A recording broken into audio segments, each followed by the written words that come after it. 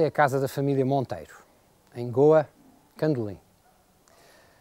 Ao longo de 450 anos de presença portuguesa eh, na Índia, em Goa, deixámos obviamente muitas marcas. Nos últimos anos, no entanto, eh, essas marcas têm-se perdido desde a língua à religião. Eh, hoje já apenas uma, uma geração acima dos 60 fala português e o cristianismo, ou melhor, o catolicismo, apenas um 30% da população pratica o cristianismo. Portanto, eh, perguntamos que marcas é que ainda se encontram. Eh, talvez aquela que no dia a dia, nos mídias, nos jornais, nas, nas, conversas, conseguimos ainda ouvir é o palavrão Portuguese House. E quisemos saber porquê chamar a isto uma casa portuguesa.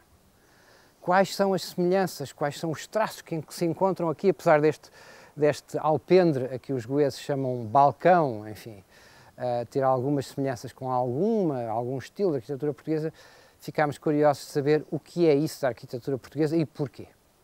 Vamos, ao longo deste programa, tentar desvendar esse mistério.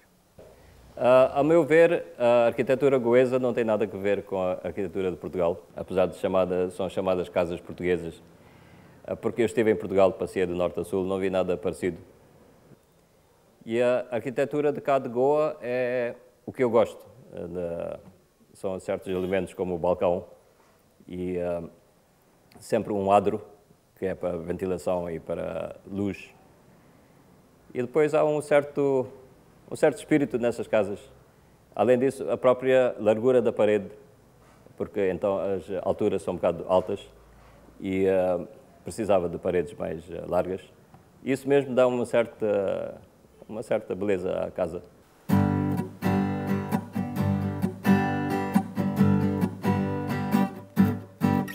Eu nunca tive assim a grande atração pela arquitetura, mas uma coisa foi que eu queria ser o que se chama em inglês self-employed. Mas em todo caso, acabei o curso. E depois voltei, comecei a exercer.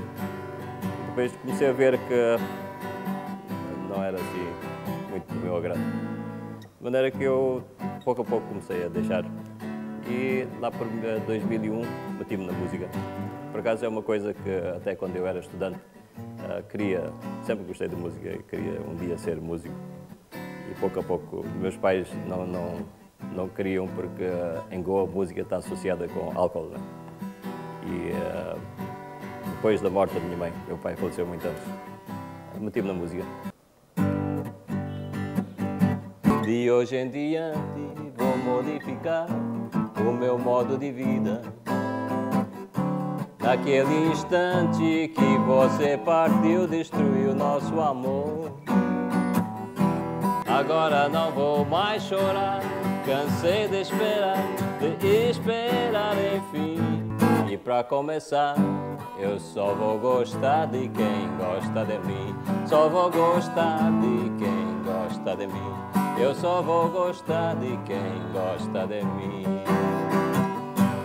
Well, it's it's amusing in, in a way, you know, but it's understandable. You see, like every kind of, you know, in a place like India where we are, the culture is so different, when something is is unusual, it's it's at a premium. So I see the I, I, see the need for people to name all their villas with Portuguese names, or to try and tell people that they're selling them a foreign uh, symbol, you know, and uh, it gives it a certain value. And uh, strangely enough, I, I, though I'm Goan, I never lived in Goa. And uh, the first time I visited Goa when I was about 21, and I came here and I was amazed at the architecture. It was really exciting. It was, and uh, about 15 years ago, I, or 12 years ago, I went to Portugal for the first time, and I understood uh, that we are some distant cousins of, of what was there in Portugal. And, there's, and we took, we borrowed certain elements and we turned it around completely to create something completely different. And uh, these are not Portuguese houses for sure. But for a lot of people, it's useful. You know, like a, it's a useful thing to sell a different culture or a different architecture. And uh, I find it amusing. You mentioned elements. What are those elements specifically? I mean, you're talking about the windows. I mean, give me give me visual uh, data. See, yeah, you see, what happens is, uh, like it's. Let's take the case of windows. You know, we were a society uh, once we had become Catholic. We were a society which was was trying to establish a new architecture of what a new life for ourselves from from uh, and by virtue of conversion we were also very experimental. We were like we were starting a new life. It's like we were being transplanted in a new in a new society. And we were very adventurous. So we people from Goa I presume traveled to Europe. You saw what the churches had brought the architecture. And you, I don't think you only went to Lisbon. I think people from Goa traveled all over. And we started taking the elements of windows, of the geometry of, of uh, the uh, domestic architecture of Europe and changing it and putting it here and being very innocent about the approach.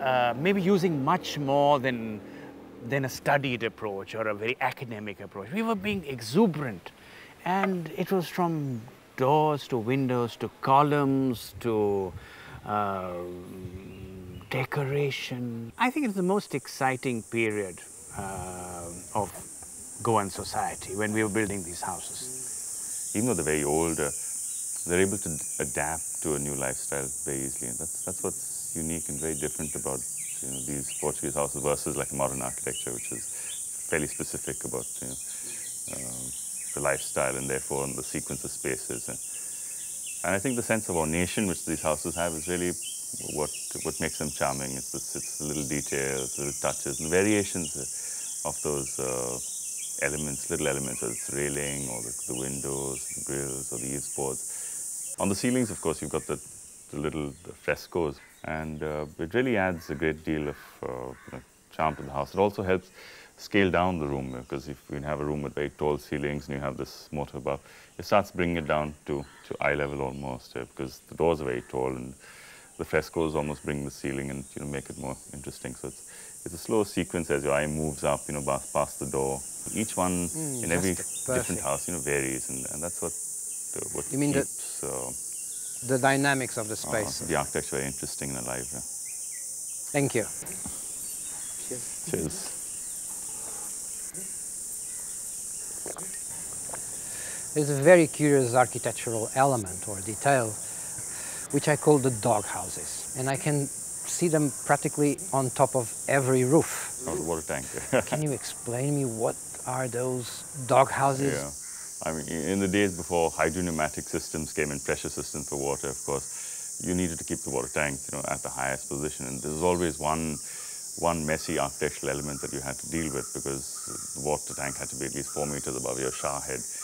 And every architect had this you know, enormous problem of how do you blend this tall tower you know, into the structure. So they really treated it as a tower. They tried to slap on architectural elements into it at times successfully, at times you know, with disastrous results. Well, uh, I, I, don't know. I think I, I, don't look at it as a sort of Goan phenomenon or anything like that. But you see, once uh, running water came into the place, and uh, running water is never continuous in Goa, so the tank became important.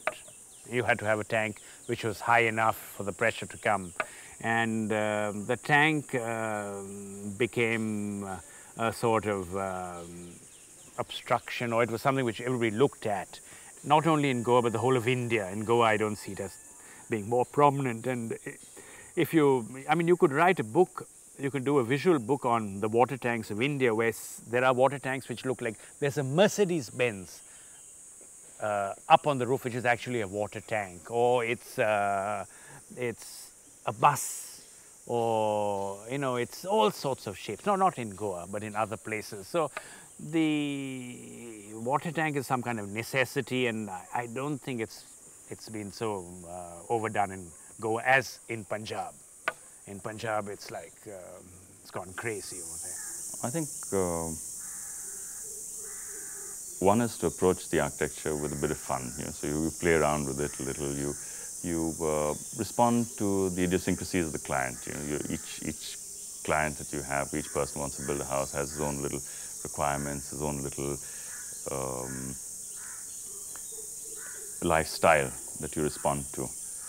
So whether it's you responding to an open style of living or the little, the way they'd like their, uh, they sequence their, a day in their life is, is what you really look at and, uh, and your architecture, you know, captures their personalities uh, in the house. Uh, at the same time, you know, rooting the architecture, the house needs to say that where, where it is, it's from Goa.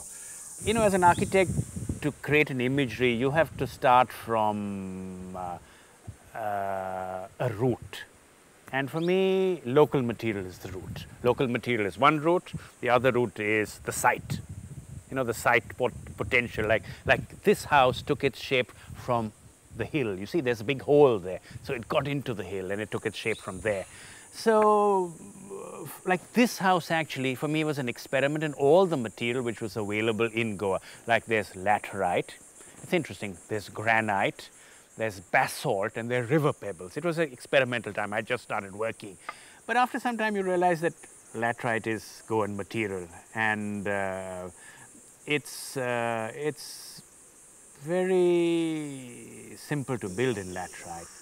Yeah, the laterite, it's actually unique to this, the Konkan coastal areas. You know, it's a sort of sedimentary rock. And uh, it looks porous because it has little pittings in it, but actually it's, it's, it's quite, uh, it keeps the elements out effectively. Um, so if you can use it in exposed state, and having a lot of ferrous content to it, actually it hardens with time. So as you expose the laterite to the elements, it gets harder, which is quite a unique you know, feature to it. Yeah.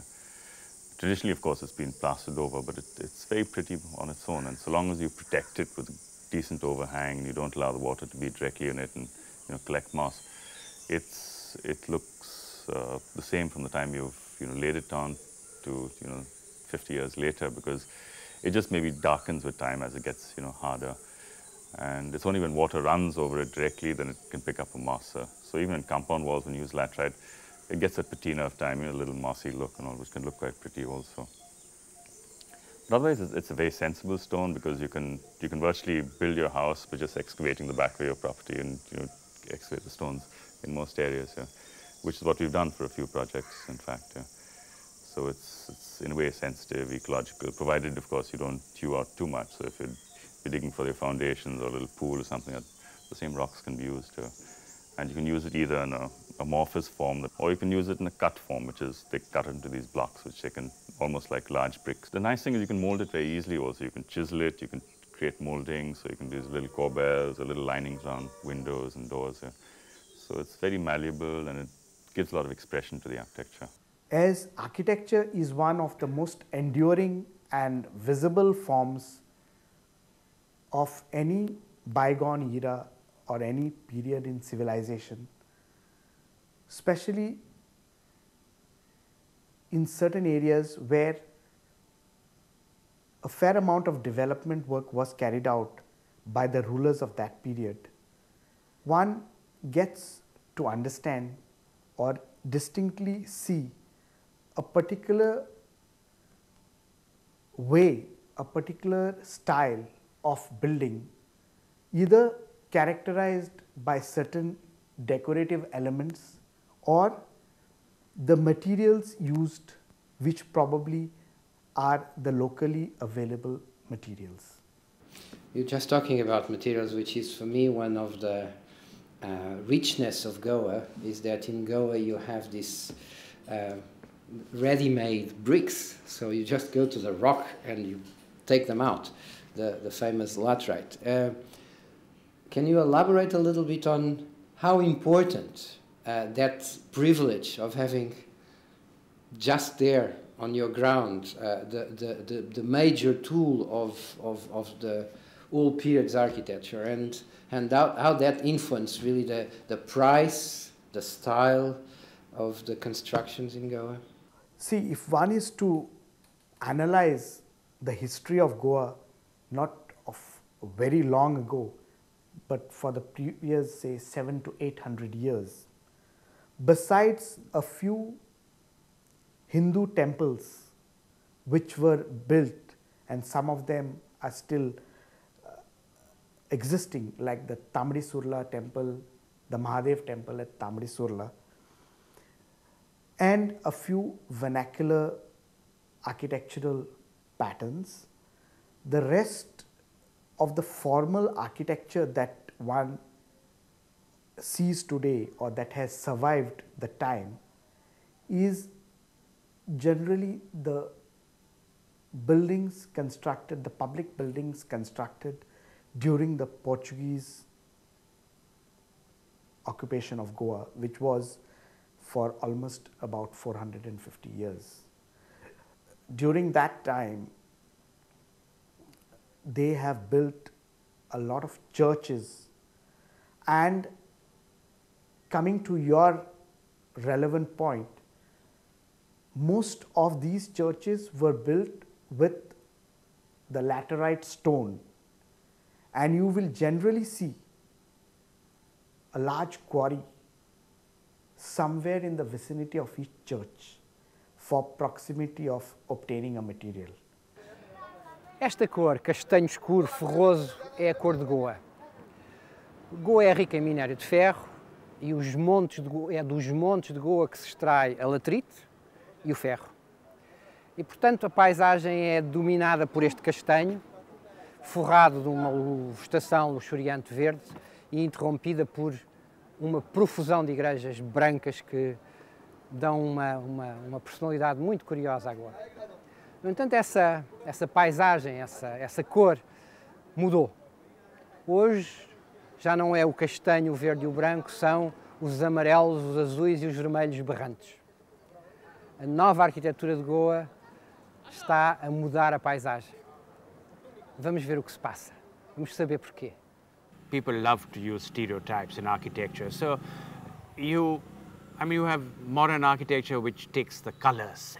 Okay, like we had three main colors here. It was like a, a um, indigo, there was ochre, there was red, all from three natural materials. And uh, they were very bright and gay, and the Goan houses used them. Now, as a stereotype, modern architecture, when you say modern, I mean commercial, modern commercial architecture has taken these colors and, and taken these colors and changed them, of course, but they have the same bright uh, or look about them, and they call them Portuguese, influenced by the Portuguese.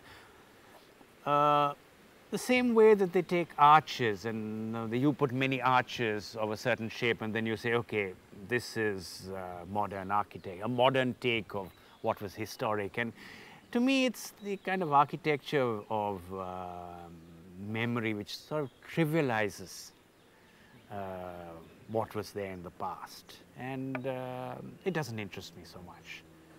See, I, am actually, I'm, I'm a modern architect, you know, but, but a regionalist, you know, in the sense that I work within, uh, you know, I, I believe that I, I should be taking my cues from, from the region, you know, and uh, region in every way from the material which is available on the site to what the site looks like to material available um, in the area. There's no point in getting material from, from miles away when something is available there. So if I, if I construct a, a house on a river, I would be using those kind of pebbles. I, have in fact constructed one recently, taking the, the pebbles from the river and making the whole house with it, you know.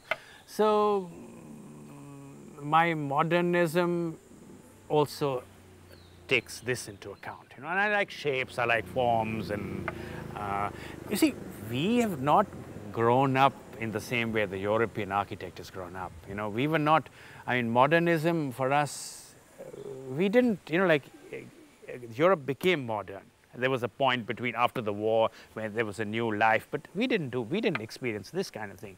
Our thing came, I think it's just, it, it's come actually very seriously in the last um, 15 years through cable TV you know, this kind of imagery of buildings, you know, which you see buildings in Europe and America, and we now replicate these buildings. But uh, we didn't, I don't think we, this, see, modern architecture came with a whole modern industrial uh, processes of making buildings, the way they're made, of factory-made things. We didn't become industrial like you all became industrial. We are just becoming industrial now.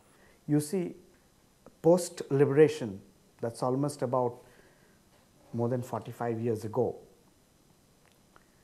we had very few architects who were practicing in Goa. And at that point in time, there was not much of construction work that was carried out in Goa besides the government buildings.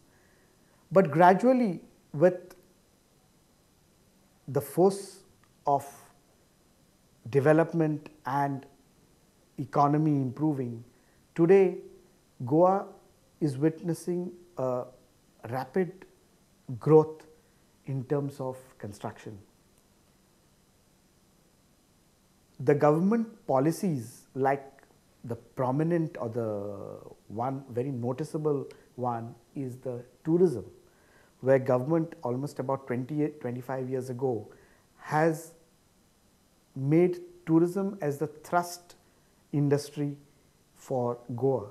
So, you had immediately facilities in the public sector as well as the private sector to match the growth of this industry. It was a bit slow at the start, but the last 10 years have witnessed a very rapid growth in the, in the, uh, in the tourism industry. So, you had a number of hotels, residential compounds and even houses coming up in urban as well as semi-urban and the bulk of this work was witnessed along the coastal belt of Goa. Partimos para esta aventura à procura do que seria uma casa portuguesa. Que elementos definem esse estilo? Ficámos a perceber que era um estilo que os goeses se orgulham muito, que tem muito paladar português, mas levanta-se uma nova questão. E as igrejas? Será que as igrejas também apresentam o mesmo tipo de fusões, o mesmo tipo de cruzamentos de estilos? Vamos tentar descobrir. Uh, na arte não há nada de puro. Sempre há elementos que se uh, entrecruzaram. Portugal próprio recebeu quanto elemento da Renascença. A Renascença começou na Itália e daí veio a Portugal. Em Portugal teve, já se vê, os elementos do Manuelino. O Manuelino pôs a sua, digamos, a estampa portuguesa com elementos de, dos descobrimentos.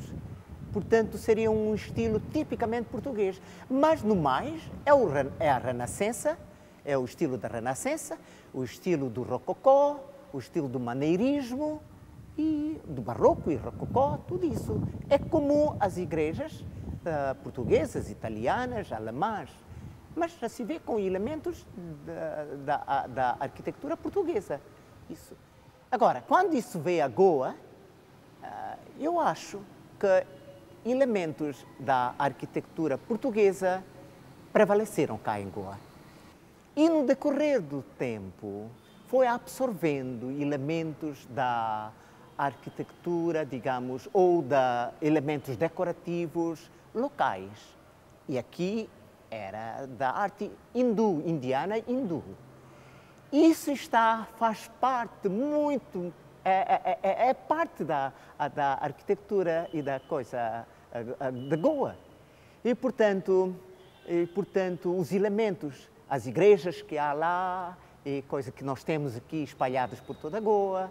Nós temos lá elementos com características cristãs, os ícones cristãos, mas ao mesmo tempo há tanto outro elemento, principalmente elemento decorativo indiano, hindu e coisa.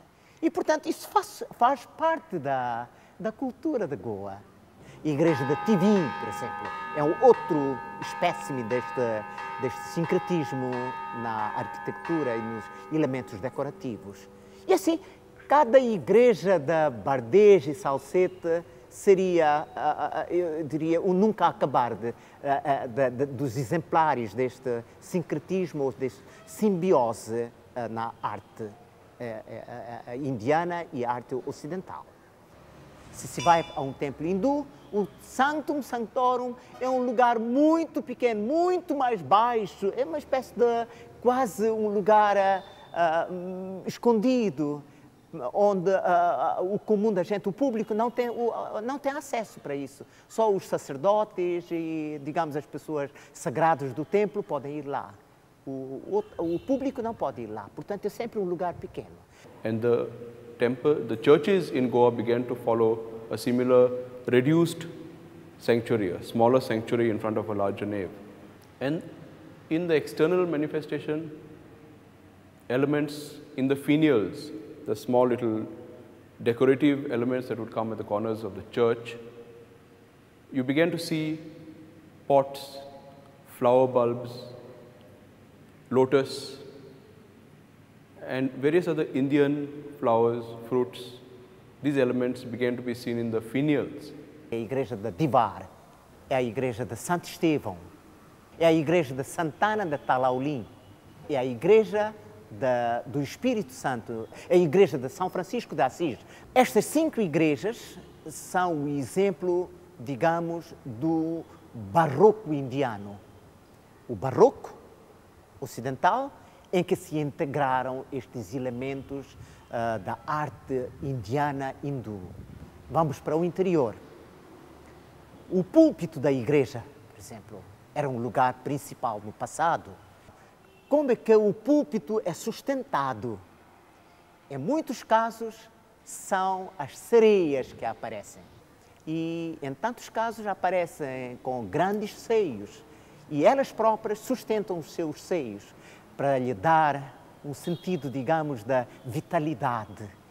Noutros casos aparecem os evangelistas e coisa, mas estes elementos decorativos próprios, que eu diria da, entre a arte eh, ocidental e a arte indiana, é, está, consiste nestas sereias bonitas. Em certos casos, diria eu, certa gente pudica talvez, achou talvez que faria as sensibilidades e foram lá por sua conta e risco, foram lá cortando os seios destas sereias. Mas há outras igrejas em que aparece perfeitamente uh, uh, esta sereia em toda a sua beleza. Na igreja de, de São Jerônimo, na, em Mopsá, veremos lá no interior algumas figuras medonhas, caras humanas medonhas. São elementos da mitologia hindu. Em Mapsá existe o templo de Hanuman. E quando se vai lá ao templo de Hanuman, vê-se a cara de Hanuman, assim, um, uma cara hum, masculina, máscula, medonha, hein? vê lá, e, portanto, era o demônio e coisa. E essa mesma figura, cara, assim, máscula e medonha, aparece lá no interior da igreja de Mapsá.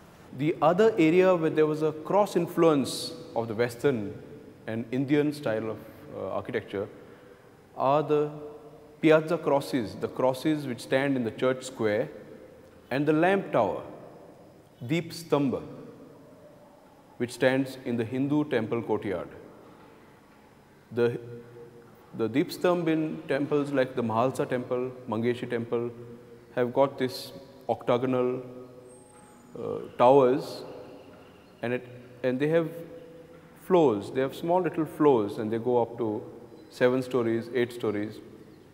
And each of those floors has got niches marked on all sides. And those niches are almost Baroque in appearance. They have the cornice, they have the arch, they have the pilasters, very Baroque, very neo-Roman. And the, the cross which stands in the church courtyard those crosses, if you look at the structure, there is a structure at the base and the cross mounted at the apex. If you take the cross away, many of these uh, structures look like little miniature Hindu temples. They follow, some of them follow the Nagara Indian temple uh, profile. And many of them have the decoration and styling very, very similar to Indian temples. So this is one area, the Deepstambha and the Piazza cross, which these two structures influenced each other very much. And that is where we see the East and the West coming together. The Portuguese style, or rather the Pan, the, the European style, of, uh, the, of the Neo-Roman period is very strong. It can be seen in all the old churches up to 1950, 1950 or so, after which the more modern styles came into being. But by and large, it is these old structures, these old Neo-Roman churches of European motif and Indian influence. These are our wealth. These are the these are the churches to which people have got a bonding and which the whole world identifies as uh, the religious, the Christian religious architecture of Goa.